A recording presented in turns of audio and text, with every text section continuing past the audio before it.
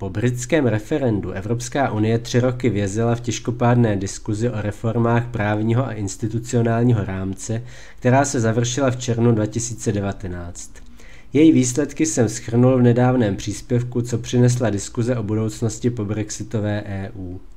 Unie zůstala pevně ve vyjetých kolejích na svém centralistickém a levicovém kurzu, který byl zvýrazněn některými novými výdobytky, jako jsou předně Evropský pilíř sociálních práv a stálá strukturovaná spolupráce v oblasti obrany, takzvané PESCO. Každopádně pro zastánce stále užší unie byl dosažený posun příliš málo ambiciózní. A tak se zrodila myšlenka svolání konference o budoucnosti Evropy. Když Ursula von der Leyenová vyjednávala podporu pro své zvolení mezi frakcemi Evropského parlamentu, přislíbila iniciovat takovou akci.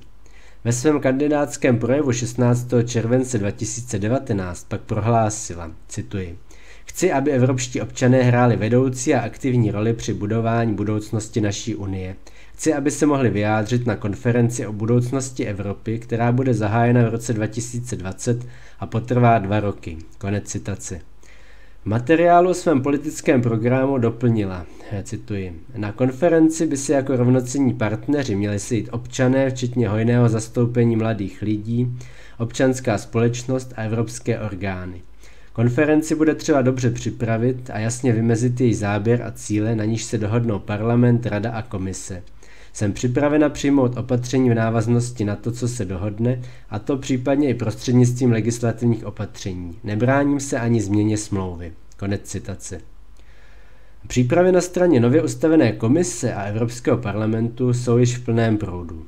Co je zásadní, 12. prosince 2019 myšlenku podpořila Evropská rada. Ta požádala chorvatské předsednictví rady, aby pracovala na vymezení postoje rady ohledně obsahu, rozsahu, složení a fungování takové konference a aby na tomto základě navázala kontakty i s Evropským parlamentem a komisí.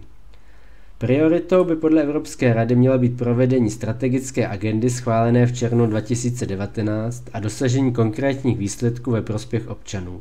Konference by měla přispět k rozvoji našich politik ve střednědobém a dlouhodobém horizontu, abychom mohli lépe řešit současné i budoucí výzvy.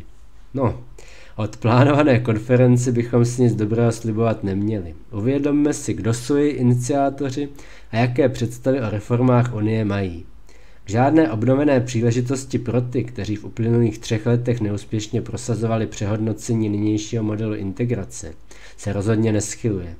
Bude to akce těch, kteří tento model chtějí naopak posunout mnohem dále a centralizační výdobytky z cesty do Sibiu považují za nedostatečné. Můžeme předpokládat, že ožijí témata, jako jsou model špicn kandidátů pro výběr předsedy komise, nadnárodní kandidátní listiny ve volbách do Evropského parlamentu, snahy o rozšiřování hlasování kvalifikovanou většinou na úkor jednomyslnosti využitím tzv. pasarel a že bude dán prostor pro úvahy o tom, jak dále prohlubovat integraci v jednotlivých oblastech. Přestože nemá jít o mezivládní konferenci či konvent podle článku 48 smlouvy o Evropské unii, které by měly připravit změnu zakládacích smluv, ale spíše půjde jakousi volnější diskuzní platformu, Celý tento podnik bychom rozhodně neměli přehlížet. Půjde v něm o pokračování rozprav o citlivých tématech, které se vedly v uplynulých letech na cestě do Sibiu a z nichž mnozí odešli neuspokojeni. Jde o další prvotřídní ukázku toho, že evropští centralisté ve svém snažení neznají oddech.